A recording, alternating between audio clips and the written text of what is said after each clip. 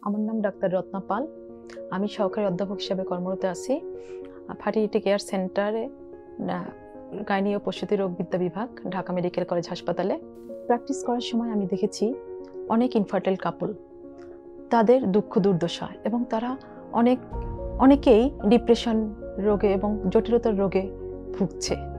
আমাদের পুরুষ শাসিত সমাজে তারা বুঝতেই চায় না যে তাদেরও সমস্যা থাকতে পারে এবং পঁয়ত্রিশ ভাগ ক্ষেত্রে যে সমস্যা শুধু তাদের জন্যই এটা তারা কখনোই মানতে চায় না এবং তারা কখনোই ডাক্তারের কাছে আসতে চায় না যে তাদের কোনো সমস্যা নেই এবং যার কারণে অনেক সংসার ভেঙে যায়। প্রথম দিন যখন ইন্দিরা আইভিএফে প্রবেশ করলাম, তারা আমাদেরকে থ্রি মান্থ প্ল্যান তারা সেট আপ করল।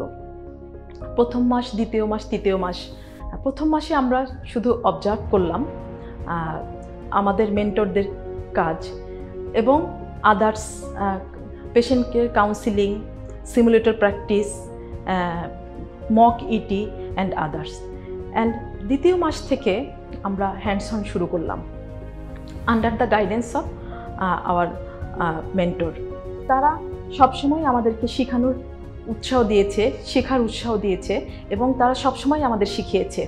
সেটা লেকচারে হোক, সেটা হ্যান্ডসন হোক অ্যান্ড আদার্স দু একজনের কথা না বললেই নয় doctor Satish sir, doctor Bipin sir, Alka madam Taruna ma'am and Mukesh sir all are very much cooperative doctor Abhinay and others staff আমরা শিখেছি কীভাবে কাউন্সিলিং করতে হয়, কীভাবে পেশেন্টকে কীভাবে পেশেন্টের ইনভেস্টিগেশন করতে হয়, কীভাবে স্টিমুলেশন দিতে হয়, কীভাবে পেশেন্টের কীভাবে ফিগার অ্যান্ড দেন কীভাবে ওভাম পিক আপ করতে হয় এবং ট্রান্সফার করতে হয় এবং কীভাবে লুটিয়াল সাপোর্ট দিতে হয়।